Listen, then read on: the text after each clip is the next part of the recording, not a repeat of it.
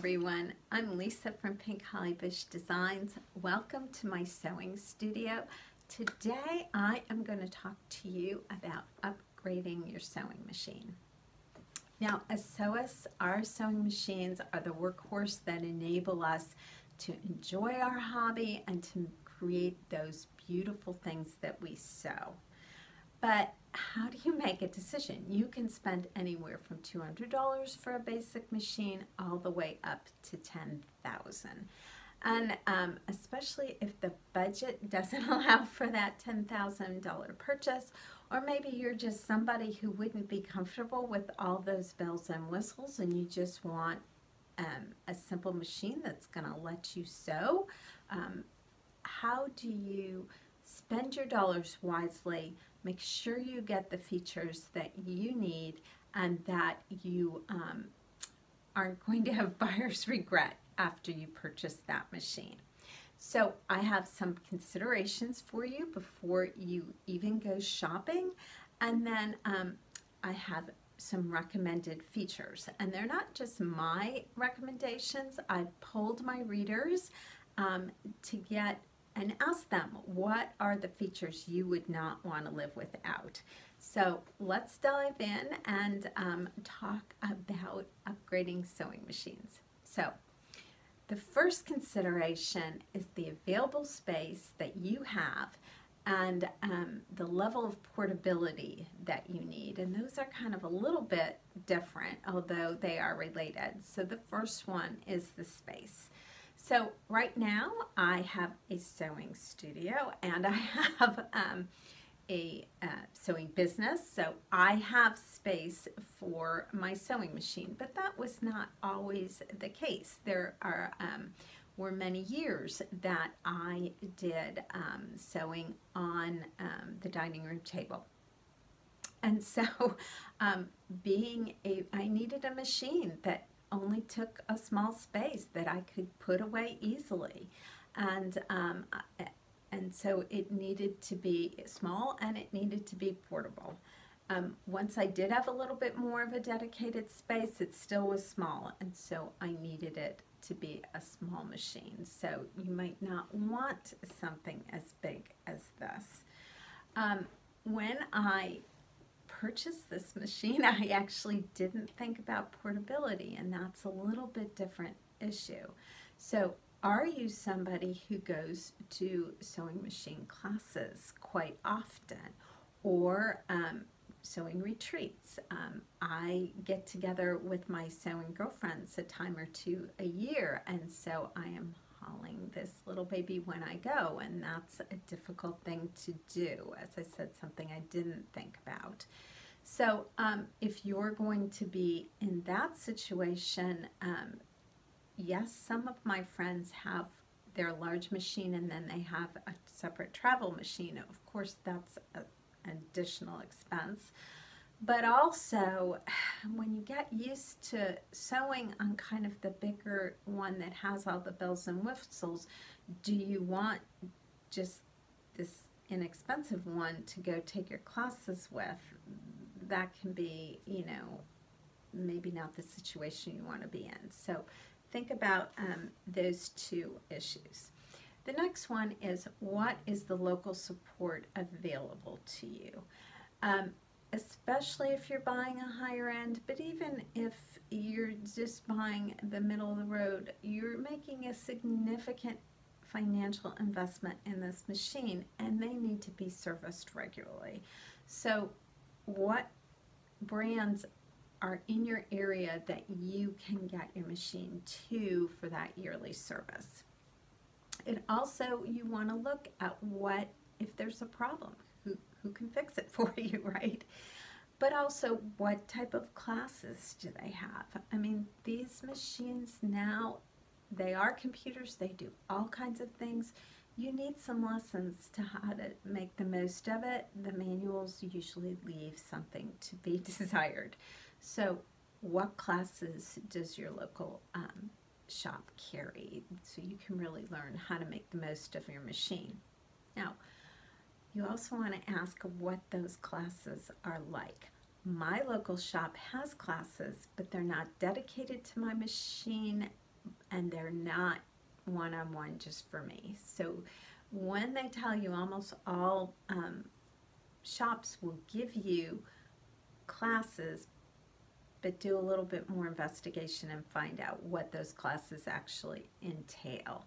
Um, I just found the ones that my local shop had really weren't that helpful. Which brings me to my next tip. Do a little Googling and see if there are any online classes available for the brand you're considering. Um, Bernina has online classes just for my machine, so that um, would be tremendously helpful. Also, look on YouTube. See if there's anybody doing um, tutorials specifically on your machine. Um, I have found that there are a couple, two different ones that do tutorials on my specific machine. Again, that's helpful. Um, also helpful if um, you see some of just what's available for the brand you're considering. So not just how to work with your machine, but how to do some minor repairs for example, you know, if it's nine o'clock at night and you're trying to finish the dress for the next day and the bobbin gets stuck, is there a tutorial that you're going to find on YouTube that's going to solve the problem for you and walk you right through it? So, all of that is helpful um, in picking out what particular model and brand that you're going to go with. Okay features. We are going to get into specific features, but you also really want to look um, if there's features that you know you want. Figure that out before you ever go to the shop, and you can figure that out by looking at the brand's website and at all those different models that they have. What features do you want? Um, for example, um, I do heirloom sewing, so I knew um, when I bought the machine actually two machines before this um, when um, the budget was quite tight that I wanted um, some of the basic heirloom sewing stitches, such as the Parisian hem stitch, the pin stitch, and the Venetian hem stitch. Well, I bought the least expe expensive machine that had those stitches. But I figured that out by looking online. When I went to the local shop, they didn't know what I was talking about when I talked about those stitches. So um, if you're somebody, for example, who does a lot of sewing with knits or um, quilting, maybe you want a dual feed. What is the least expensive machine that carries that? Um, if you sew jeans or bags, maybe you need a machine that's going to handle leather or those thicker fabrics and you might want to look for features um, that particularly handle those things. Okay, so figure that out online first. The other thing to figure out online, if you can, is what is the popular model? And you'll partly also figure that out by going to the shop. But that goes back to that support issue. Um, sewing machine brands often make machines in a series. So this um, is the 790 Plus. There were um, three other models in the 700 series, and I went to the shop intending to buy a different one within this 700 series. But the 790 Plus is the popular model. It's the one that was at the shop. It's also the one that's on YouTube. So, um, getting that popular model means that you'll often have more support for it. It's the model that the, the brand and the shops are carrying. It's not going to get discontinued as soon. You'll find more resources to help you with it. So, going with that can be um, a plus.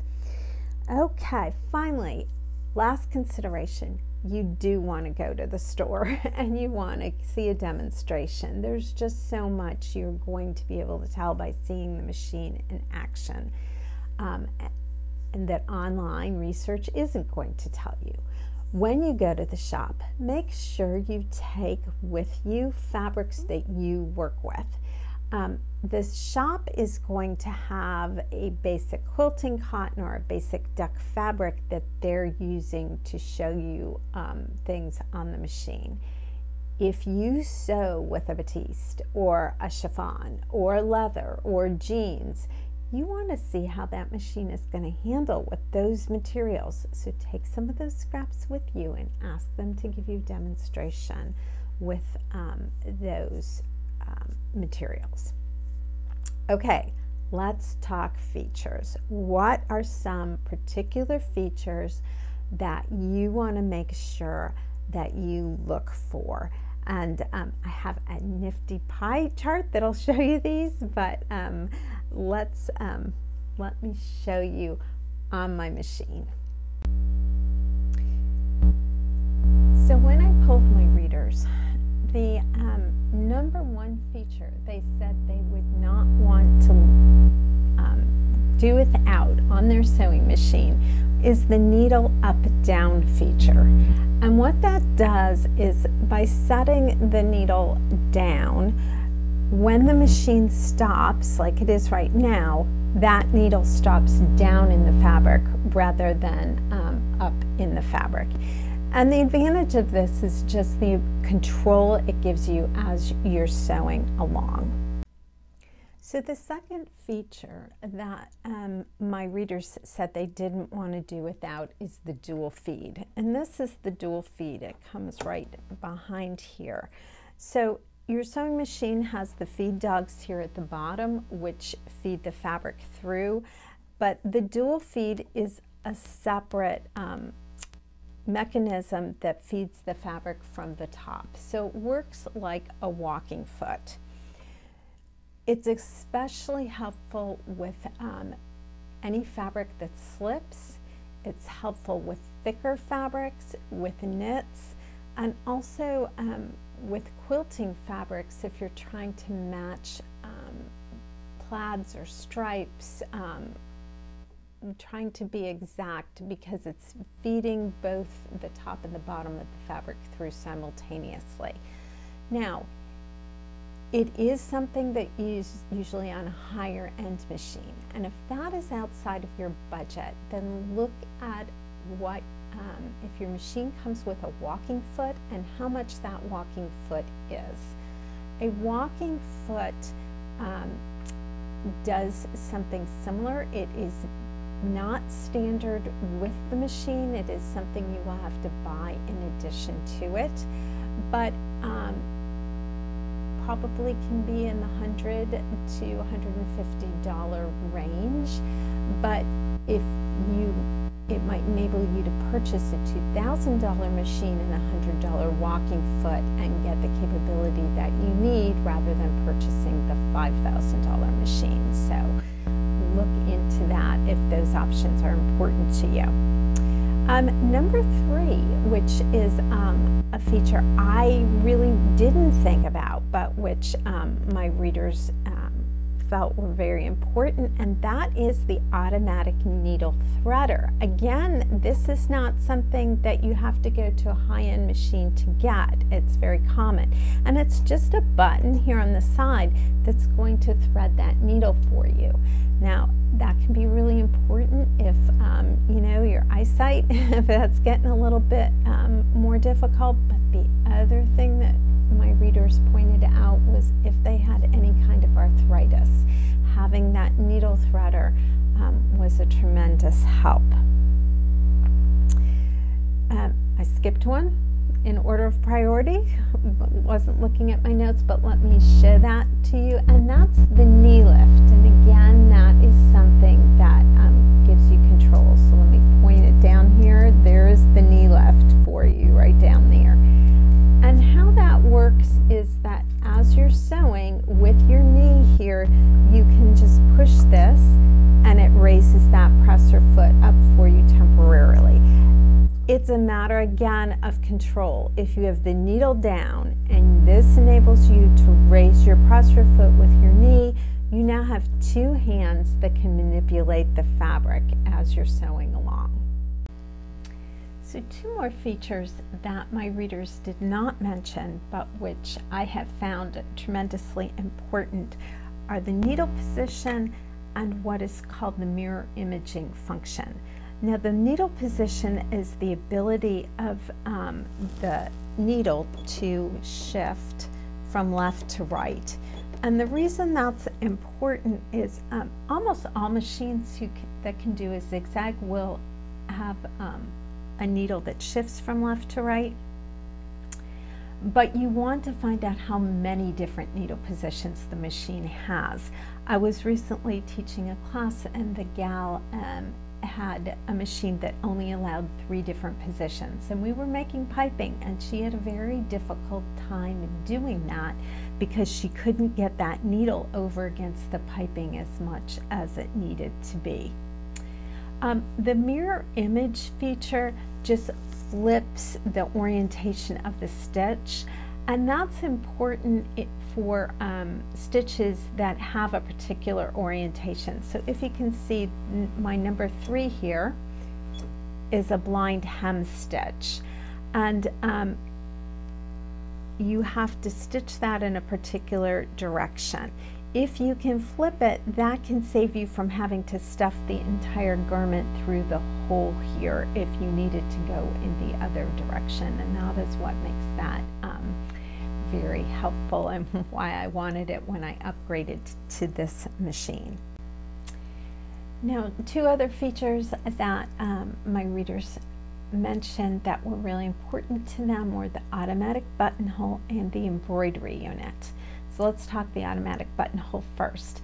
Essentially what that is, is you push a button and it stitches the entire buttonhole in one go. And when you go to the shop to look at machines, you definitely want to see how your machine makes a buttonhole. It's, you know, standard. You need to be able to make buttons, and one that does that easily is really important. So um, have it do that and see if you like um, how it comes out and get them to try it on a trickier fabric, either one that's really thick or one that's really thin rather than sort of that standard quilt, quilting cotton. Um, for uh, the um, the embroidery unit, that you know, it's a whole nother world. Are you going to get into machine embroidery or not? Um, of course, you might think that you don't want to, but if you can get it, if the budget allows it, it might be something that you'll want to do, even if you don't want to do it initially. Um, but another consideration there as well is many readers mentioned that they love using their embroidery unit to do the buttonholes. So again, that's something you might want to ask um, when you go to the store if you want to consider that. Finally, um, I think, yeah, that, uh, nope, automatic tension. Okay, automatic tension is not something that a lot of readers mentioned, um, but I think it's partly because we just take it for granted. So again, that is something you do want to check out when you go to the store, whether the machine has automatic tension, how does it handle those different weights of fabric. Um, automatic tension, you, it, the machine just senses that it's gone from a wool coating to a batiste and it adjusts the tension accordingly but check that out. How is that machine handling those different thicknesses of fabric? Okay, there was one feature though that people did mention that they don't like, particularly on the high-end machines. And what is that? Well, most of the high-end machines have removed the lever in the back that lets you manually raise and lower the um, presser foot. And um, my readers were really annoyed that that is gone. And instead, there's a button that um, does it.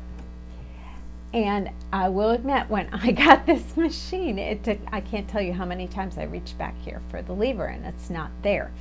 Um, and I do miss it. Now, I don't know if this is the case with all machines. In the case of this machine, they can't have the lever because that's where the dual feed is and that could be part of the issue but again it's something else you might want to look at and ask about when you go to the store So, I hope that all of these tips and considerations and features have helped you um, and that you will be able to go and find your dream machine.